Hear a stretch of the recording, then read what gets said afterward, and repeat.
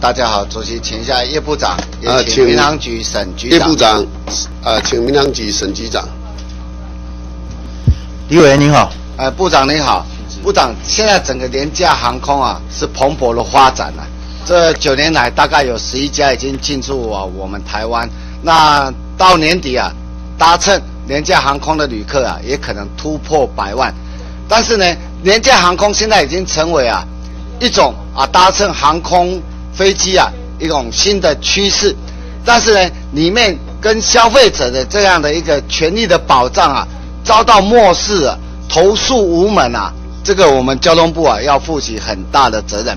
部长，单单以啊去年啊，我们国人出国啊最常到日本去，国人到日本去观光旅游，搭乘廉价航空啊，所衍生的消费争议的案件啊，高达五百七十九件，五百七十九件。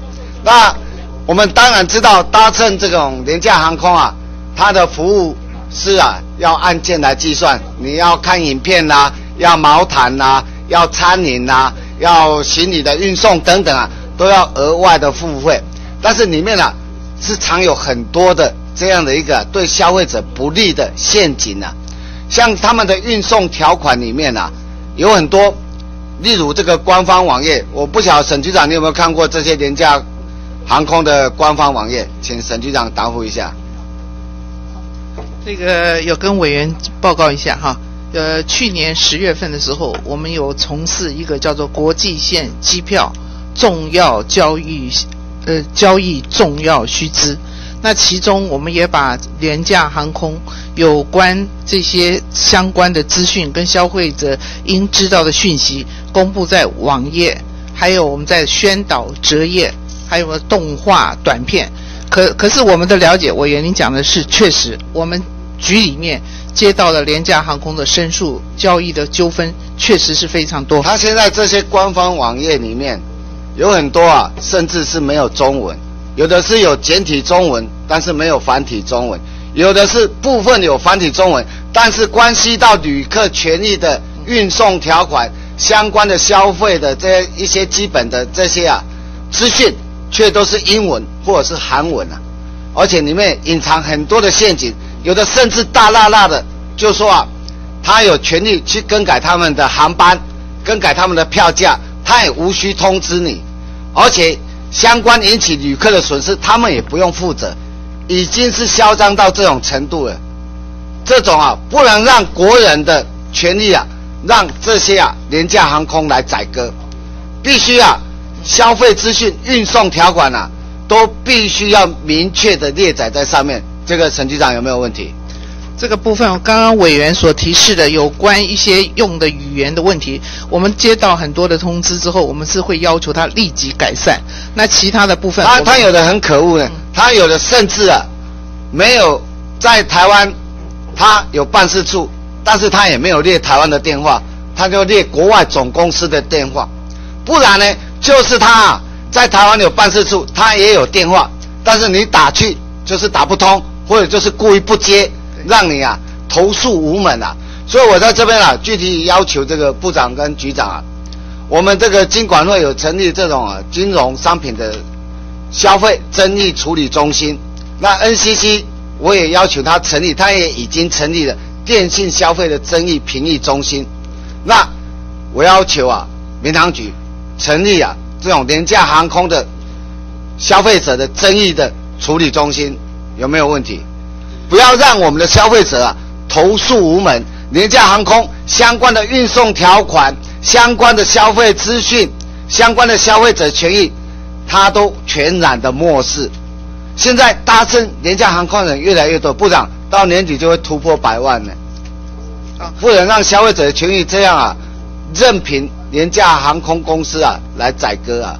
这个局长说明一下。呃，有关委员指示的消费争议的呃处理中心这个部分，回去我们民航局会积极的处理。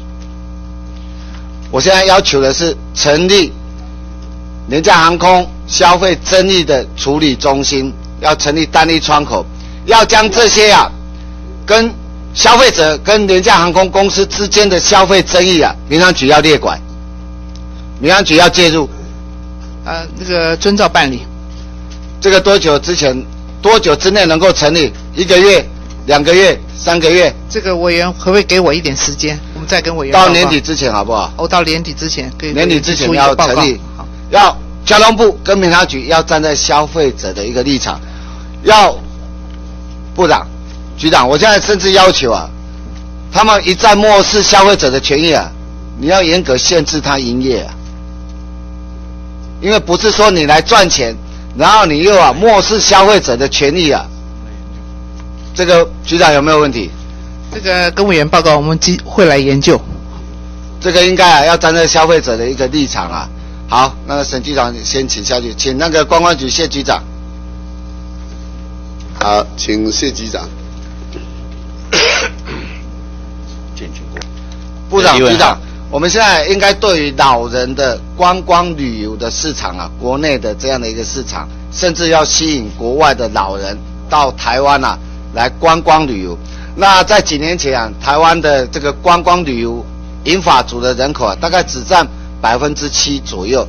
但是到一零一年啊，从百分之七已经上涨到十四趴了。就是说，我们国内的老人啊，参与国内的旅游的人口越来越多。但是呢，我们台湾的观光啊，对于国内银发族、对于国内外的老人啊，其实观光环境并不友善。啊，这个局长，我们看日本的 JR 啦，他们相关的交通或地方啊，他们大力的推广银发族的一个观光旅游。那他们是针对住宿、餐饮以及再加上地方的文艺特殊的这样的一个啊观光的景点啊去做规划。所以我们到日本啊，你可以常常看到，啊，有很多的七八十岁的长辈老人啊，他们也是背着背包啊，然后在他们国内日本啊有很好的一个旅游的资讯跟服务啊，去做规划，所以他们银发族的观光人口啊，提升越来越高。那我们观光局啊，最近是有提供一个照顾服务员的这样的一个政策，但是啊，你去问老人，你去问社会大众啊。大家几乎都不知道，不要说几乎啊，根本就不知道观光局有做这个措施啊。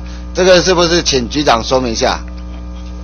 呃，我想自从这个委员这个关心这个问题以后，我们在这方面这个着力非常深哦。那那那，我想刚刚委员提提到的那个那个这这个专案导览人员来照顾这个问题，这这个行销我们会继续来行销。这个只是照顾服务员，你们大概一天两千块嘛？是是。啊，陪这些长辈旅游啊，然后照顾他们上下游览车是是，但这只是服务。不想，这只是服务部分。我现在讲的是说整体的一个规划，针对地方的餐饮、住宿，然后啊去做一个整体的规划，让老人啊有很好的一个旅游资讯的一个服务，这个啊是很重要的工作啊。这个局长要去做规划，那个部长，呃，希望你啊重视国内是。啊，以及能够吸引国外的银发族啊到台湾来观光，因为我们的交通是便利啊，对，我们的捷运、高铁、航空等等啊，这个有很绵密完整的一个这样的一个是。交通网，再加上我们各地啊餐饮跟住宿都很有特色，应该去做一个整体的规划啊。谢谢委员的这个建议哈。事实上，我们这样的了，我们在交通的部分呢，像铁路哈，像公呃巴士哈，中长程巴士呢，我们已经全面的在推动叫做通用设计，让那些身心障碍还有老年人都能够能够方便搭乘。那接下来就是这个旅游路线的设计哈。那我们也已经在在做一些规划，所以我想，我想观光局我们也会全力的在在这个市场要把它做开放。对，这个对于。国内观光旅游啊，要去做一个整体的啊提升啊，尤其对银发族的这个部分。